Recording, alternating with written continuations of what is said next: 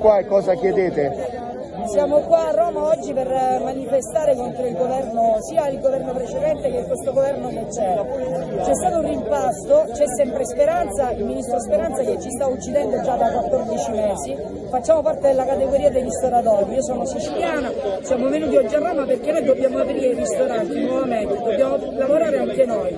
Hanno chiuso soltanto ristoranti e pizzerie e bar. Ora basta, 14 mesi senza lavoro, 14 mesi senza cassa integrazione, 14 12 mesi pagando affitti, pagando le bollette, non hanno bloccato nulla e i ristori che danno è bene che la gente sappia che il governo si fa la bocca larga ma manda non ristori, manda elemosina, manda elemosina a un ristorante se tu gli mandi 5.000 euro, 3.000 euro con un fatturato di 600.000 euro non se ne fa nulla, non se ne fa nulla.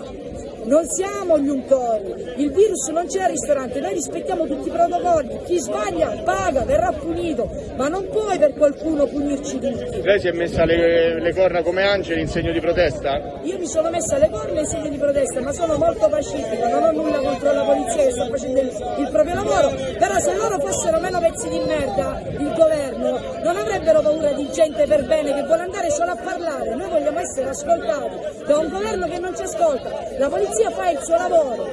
Ed è giusto che lo faccia, come io vorrei tornare a fare il mio lavoro, io da 14 mesi non guadagno più un euro, non incasso più un euro. E ho famiglia, ho casa, ho mutuo, non so come arrivare più a fine mese, già non ci arrivavo prima, ora è peggio ancora. Come ti chiami tu? Speranza si deve dimettere, io mi chiamo Sandra Di Bella, vengo da Calabria.